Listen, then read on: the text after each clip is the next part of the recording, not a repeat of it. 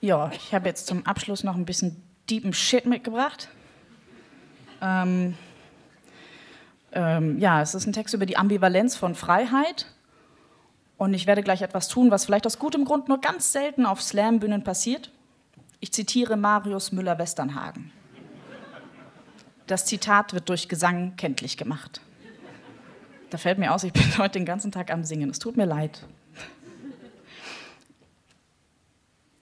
Verpflichtende Freiheit. Freiheit, Freiheit ist das Einzige, was zählt.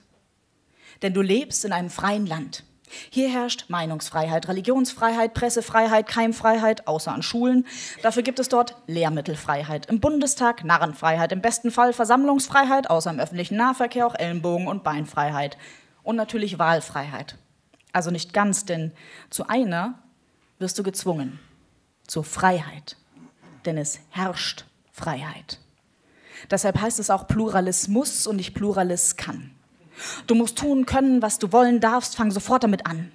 Es geht nicht um persönliche Autonomie oder selbstbestimmten Spaß am Dasein, sondern um Selbstverwirklichung als Philosophie mit Anschubfinanzierung aus dem Phrasensparschwein. Sie sagen, du.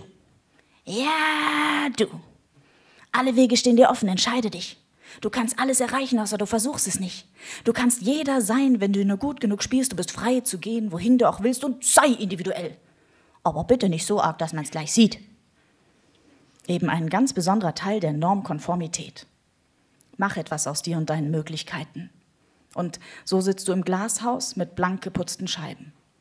Das fühlt sich wirklich fast wie Freiheit an. Und du genießt den Ausblick, hängst mit der Nase an der Glasfassade dran, der Horizont riecht richtungsweisend.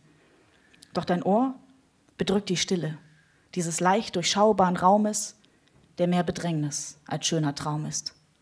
Und alles, was du willst, ist nur ein Steinwurf entfernt. Doch die Angst vor klirrenden Scheiben zwingt dich zu bleiben. Vielleicht. Und auch ganz sicher ist das nur Jammern auf höchstem Niveau. Und irgendwo in Guantanamo schüttelt einer den kahl rasierten Kopf und fragt, du klagst über zu viel Freiheit? Mein herzliches Beileid. Freiheit, Freiheit ist die einzige, die fehlt, weil sie in den falschen Händen nicht wirklich etwas zählt. Trotz Handlungsfreiheit kannst du nicht tun und lassen, was du willst. Auch nicht, wenn du in der ersten Klasse spielst.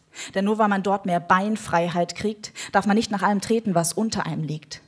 Meinungsfreiheit bedeutet nicht alle zu diskriminieren und zu hassen, die anders sind als du und so nicht in dein Weltbild passen und jede künstlich aufgebauschte Sensation ist für die Pressefreiheit. Blanker Hohn. Bist du schon glücklich, weil du nicht unterdrückt wirst? Oder erfüllst du deinem Ego hemmungslos jeden Traum? Freiheit ist ein Privileg mit Interpretationsspielraum. So sitzt du immer noch im Glashaus, starrst raus, hauchst Atemluft an glänzende Fensterscheiben. Ins beschlagene Matt malst du bange Fragezeichen und weißt nicht, nimmst du dir die Freiheit oder lässt du es bleiben? Unangenehm, so ein Luxusproblem. Und Ganz weit draußen, auf offenem Meer, zwischen tosenden Wellen, man versteht ihn nur schwer, schreit ein Mann, in den Äther aus Angst um Hoffnung auf bessere Zeiten, gezwungen mit vielen anderen eine Flucht zu bestreiten. Du klagst über zu viel Freiheit? Mein herzliches Beileid! Und plötzlich wird dir klar, wir sitzen nicht alle im selben Boot. Viele unterschreiben per Geburt ihren Vertrag mit dem Chancentod wären Voraussetzungen. Eine weltweit gleiche Währungseinheit wäre Free Willy Englisch für freiwillig. Und wir hätten echte Wahlfreiheit. Wie alle Ressourcen ist Freiheit dort so knapp, wo man sie wirklich braucht und dort im Überfluss vorhanden, wo man nicht weiß, wie man sie am besten verschwenden soll.